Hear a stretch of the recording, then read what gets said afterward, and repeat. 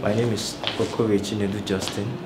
I'm a student of, of um, University of Nigeria. Um, I'm in 300 level pharmacy.